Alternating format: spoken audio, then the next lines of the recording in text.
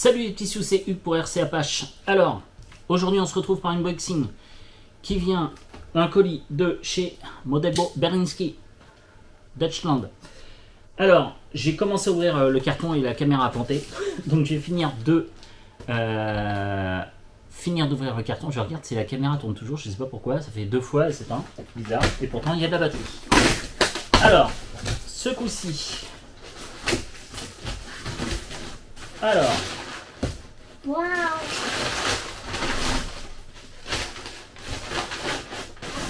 Alors, qu'est-ce que j'ai commandé?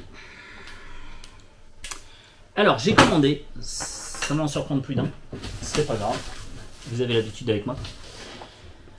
J'aime euh, un peu tout dans la RC, et là j'ai voulu voir parce que c'est une marque, alors ça s'appelle FM Électronique, euh, qui est une marque qui est assez euh, reconnue, euh, on va dire, dans le monde de la RC, ils font beaucoup de scales, beaucoup d'engins de chantier, et euh, chez eux, la finition est en règle générale sublime. Euh, les pelleteuses, elles sont magnifiques. Elles coûtent un bras aussi. Coûtent un bras. Elles sont en métal bien lourdes, etc. Et FM électronique, donc honnêtement, c'est relativement du très bon matériel. C'est assez reconnu. Ils sont assez reconnus pour faire donc du métal injecté. En général, c'est un alliage euh, aluminium, etc mais ils sont reconnus pour faire vraiment du scal, euh, des jolis crawlers, etc. Euh, mais surtout de l'engin de chantier, des pelleteuses, des camions, etc. Ils font des trucs magnifiques. Le tarif, des fois, suit aussi, mais bon, après c'est normal, c'est de la qualité, c'est pas du plastique. Quand tu fais du métal injecté, il faut, créer les moules, etc. Et donc là, j'ai pris un scal, parce que j'en voulais un. Alors, euh, on va dire que certains vont penser que ah merde, c'est lourd. Ah ouais. Ah bah ça se voit que c'est en métal. oh la vache Ah oui, c'est beaucoup plus lourd qu'il n'y paraît. Euh, beaucoup plus lourd qu'il n'y paraît. Alors, c'est un, donc c'est le Hummer H1 en version métal. Donc un Hummer H1 en version métal. Donc au euh, format 1 dixième. Alors, et il est même fourni dans une jolie mallette de transport a priori. Ah bah voilà. Ça a l'air sympa tout ça. La caméra continue de tourner, c'est magnifique. Elle reprend plus. Bah, je sais pas ce qui s'est passé. Alors, hop. Alors, ah ouais, alors vraiment, euh, montrer la bobotte, hein, évidemment. Donc, la jolie bobotte que vous pouvez voir de côté. Vous montrer longtemps, car ça fait un certain poids. Ensuite, de ce côté-là. Et donc, le dessus et le dessous. Purée Ah, mon avis, j'ai pris ça. Je voulais voir si vraiment c'était top cette qualité. Ça a l'air pas si mal que ça. Waouh Alors. Ah, Je vous assure, ça pèse son poids quand même. Je suis assez impressionné. Pour un, dixième. Franchement, respect. La mallette et vous savez ces, ces espèces de nouveaux polystyrène, euh, mais qui font pas que polystyrène, c'est assez costaud. C'est des manettes. Ça doit en polystyrène. euh, franchement, ce sont des mallettes euh, qui durent assez longtemps et elles sont assez résistantes. Donc dedans, on a, comme d'habitude, la petite notice. Ok avec des petits autocollants qu'on peut rajouter sur la carrosserie. Ok Alors je sais pas si vous êtes, je suis bien cadré parce que je vous explique. D'habitude euh, c'est un DJ euh, euh, mince, Pocket le 2. Normalement il s'accroche à mon téléphone, mais là dès que et donc le téléphone me sert d'écran. Mais là je sais pas pourquoi mon téléphone fait planter le DJ Osmo Pocket 2. Donc à mon avis il y a dû avoir une mise à jour qui s'est mal faite ou un truc dans le genre, j'en sais rien. Et du coup j'ai le tout petit écran et euh, il à plus d'un mètre de moi, donc j'ai du mal à voir si je suis bien encadré ou pas. Bon, on verra ça. De toute façon, le principal, j'espère que vous allez bien voir ça. A priori, on voit la boîte en entier. Alors, donc, a priori, c'est joli. hein. Si je vais acheter, c'est qu'honnêtement, ça avait l'air d'être sympa, d'être un vrai scal, et c'est ça que je cherchais. Alors, c'est pas vraiment, c'est plus du scal que du crawler. Ça ressemble à un crawler. On peut faire du crawler avec.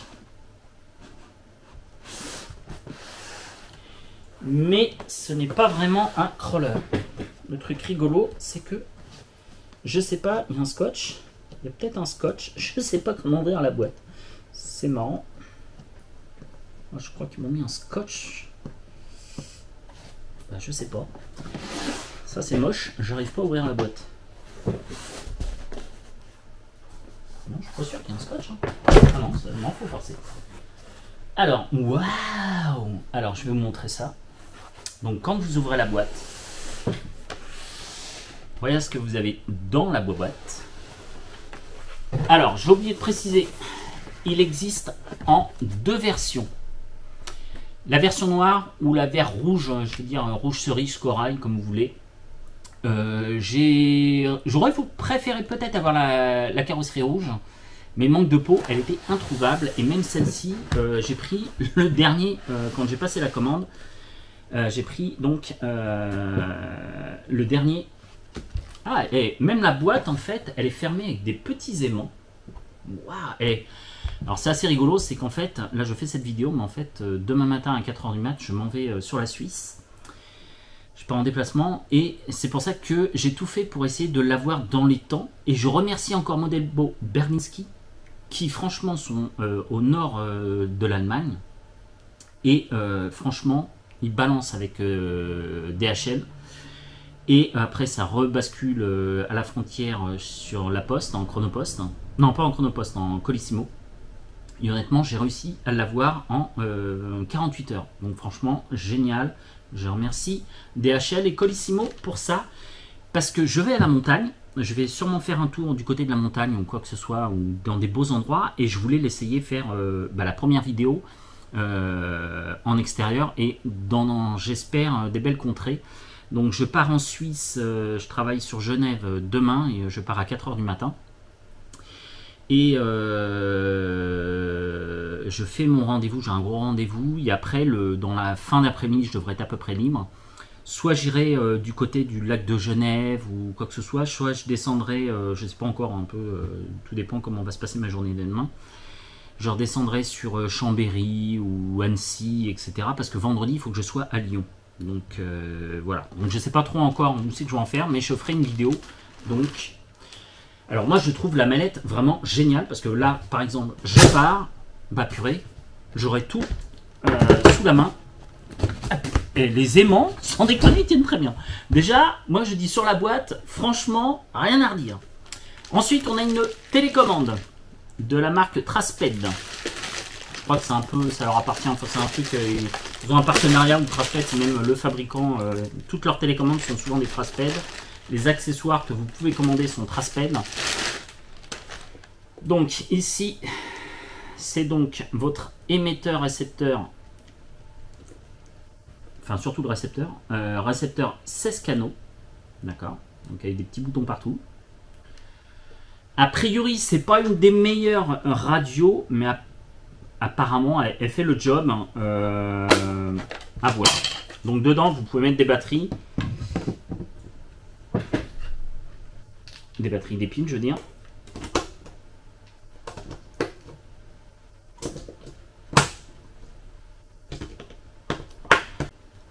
Alors, honnêtement, il y a une petite coupure parce que j'avais prévu 4 piles et comme un fait exprès, il en faut 6.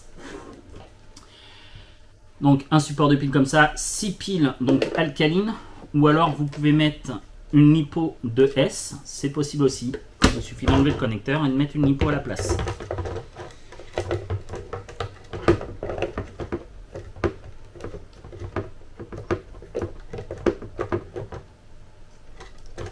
Euh, c'est un peu la galère hein, avec les câbles qui se baladent. hein.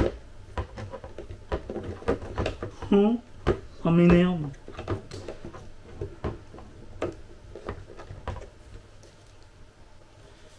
Alors je sais pas, j'ai pas fait. Ouais, c'est peut-être dans ce sens-là que ça se met. Que le câble me casse les pieds.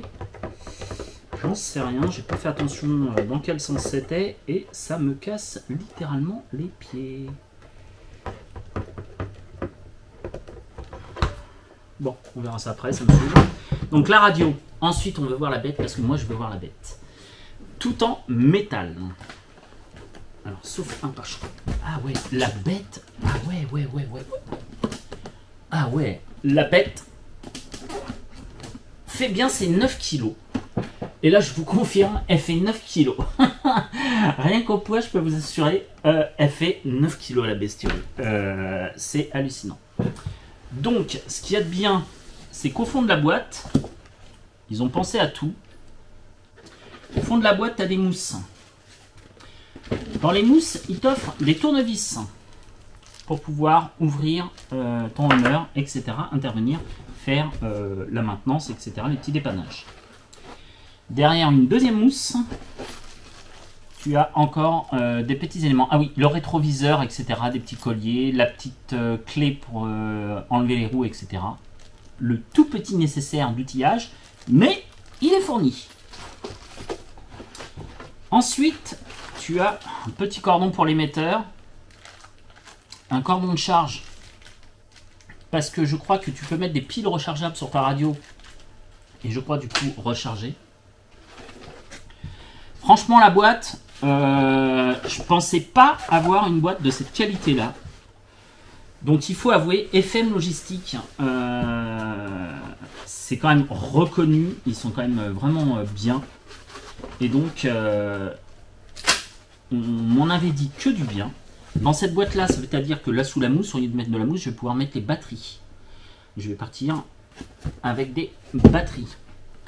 Donc, honnêtement, la boîte, qui est aussi donc Trasped, la même marque que la radio, parce que je crois que ça doit être euh, Trasped FM, ça doit être euh, une marque euh, de la marque FM Logistique. Franchement, la boîte, rien à redire, ça a l'air d'être du polystyrène, mais vous savez, c'est un polystyrène qui est qui est un peu, je sais plus comment ça s'appelle, comme pour les avions, ceux qui font de l'avion en modèle réduit. je me rappelle plus le nom de ça. Bref, on va mettre ça comme ça. Et je peux vous assurer, il fait bien 9 kg. Alors, on va défilmer. Donc, regardez la bête déjà. On va enlever ça. Hop, hop, hop. Il y a des etc. Ça, on s'en fiche. Donc la petite bête. Le seul truc qui est en plastique, euh, c'est le pare-choc. D'accord?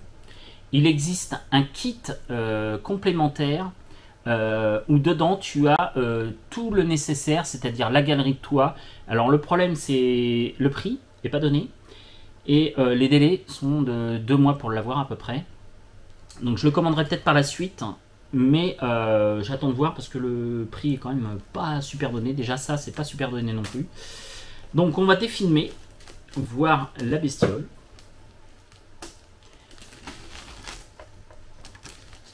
Waouh. Les gars,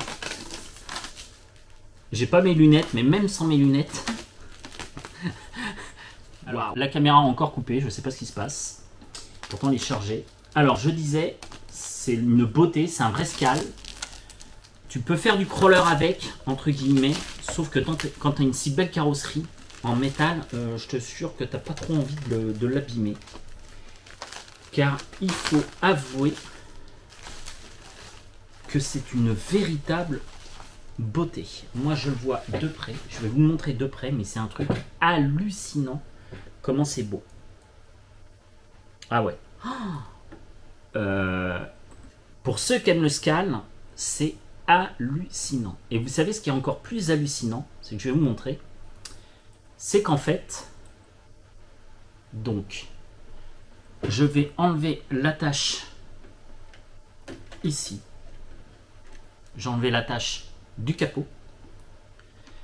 J'enlève la deuxième attache du capot.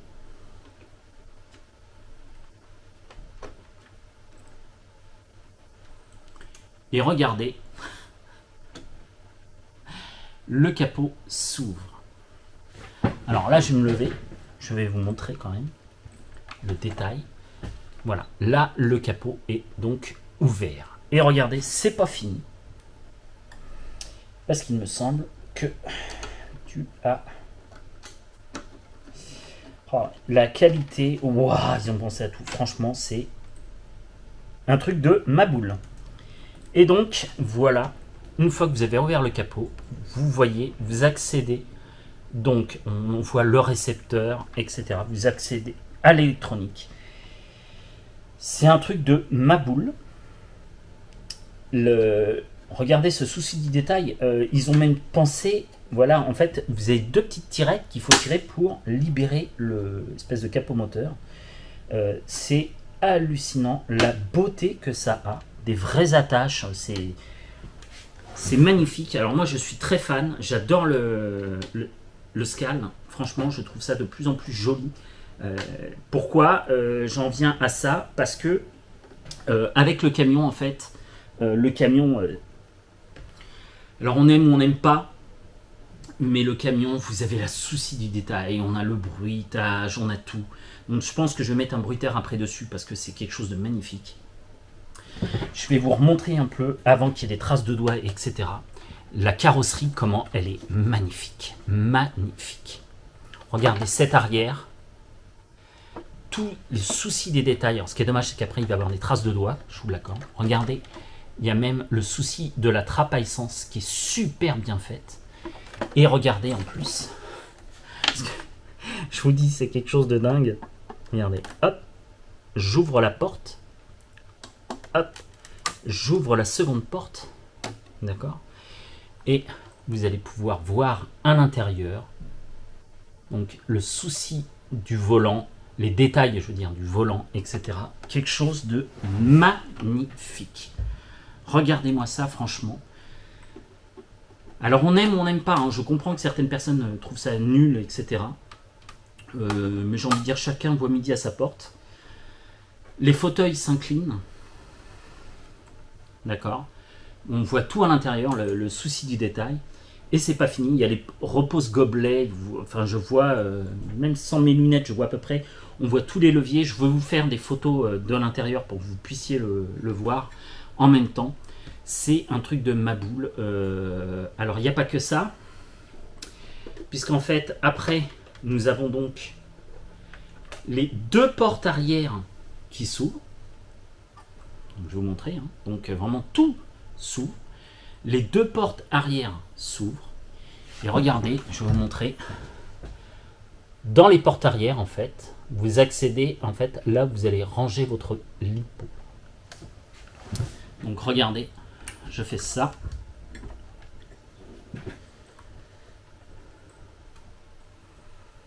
C'est euh, ouais, c'est le souci du détail, je le trouve, mais alors magnifique, magnifique.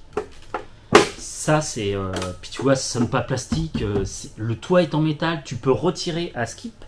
On peut retirer le toit. Ah oui, je vois que donc ici, tu as des petites trucs, des petites vis. Tu les retires et tu peux retirer le toit et l'avoir en espèce de cabriolet, retirer les charnières des portes et, ne plus avoir les portes. C'est une tuerie, c'est une beauté. À l'arrière, pareil, pareil. Donc, tu vas ouvrir, si j'y arrive. Il y a une cage batterie pour éviter que ta batterie se balade. Le truc, c'est comment ça s'ouvre, je n'en sais rien. Si, c'est bon. Mince, je l'ai déclipsé d'un côté, ça se reclipse de l'autre. Donc, c'est pas évident à retirer. Ah, c'est comme ça. Donc derrière, je vais vous montrer, j'ai retiré donc le cache batterie, d'accord. Et donc on voit le câble. Il suffit de mettre ta lipo. Donc évidemment une lipo 2S ou une, une batterie euh, Tamiya. Attention, ce sont des connecteurs DIN, ok, sans les batteries. Tu peux mettre un adaptateur si tu veux, etc. Donc, tu mets ta lipo dedans. Alors, il préconise pour la taille qu'elle fasse pas plus de 5000. Et même déjà, moi, la mienne, euh, elle ne rentre pas. Pas dû faire attention à la taille. Eh ouais, elle va pas rentrer. Bon, je vais la mettre de travers, c'est pas très grave. Ah ouais, donc je comprends. Il préconise vraiment des toutes petites lipos. Personne ne les met, mais bon. Donc, une fois que tu as mis ta lipo. Alors, attends, on va voir euh, le. Alors, ah oui, regardez en fait le dessous. Il y a le pot d'échappement, il y a tout. C'est impressionnant. Enfin, moi je trouve euh, vraiment la très belle machine. La taille des roues, c'est des 100 mm sur 38 de large, donc 100 mm, 100 mm de hauteur sur 38 mm de large. Donc j'allume ma radio. J'allume ici sous le capot si ma mémoire est bonne. Ouais. Ouais. Ça marche pas. Alors, c'était rien, c'était simplement le switch qui était déjà sur on au moment où j'ai voulu basculer, et forcément, donc moi je l'ai mis sur off, un ça ne marchait pas. Alors, comme vous pouvez le voir, on a bien la marche avant. Ok, ensuite, on a euh,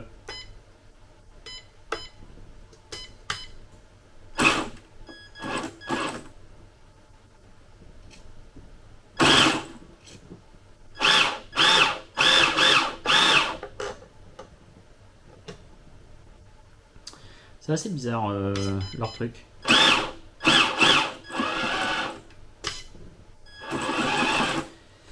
C'est assez bizarre. Faut que je regarde la radio parce qu'elle a l'air très bizarre. Il y a quelques trucs que je comprends pas dans la radio.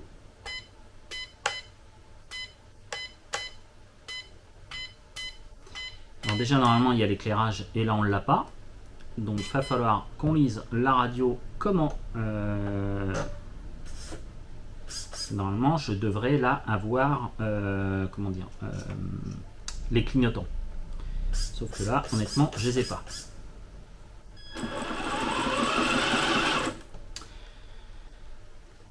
Ouais, il va falloir que je lise quand même la doc. Euh, et je vais vous faire un petit compte rendu après, parce qu'il y a un truc qui est bizarre.